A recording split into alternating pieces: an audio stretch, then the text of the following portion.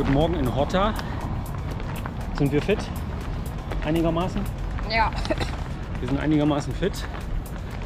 Obwohl ich so schlecht geschlafen habe wie den ganzen Urlaub nicht. Ungefähr zwei Stunden, weil das Bett so unbequem war und mein Kopf voller Haie war.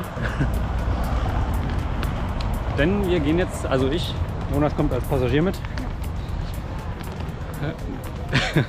Ich traue mich gar nicht, es auszusprechen. Was? Wir gehen jetzt mit Haien schwimmen.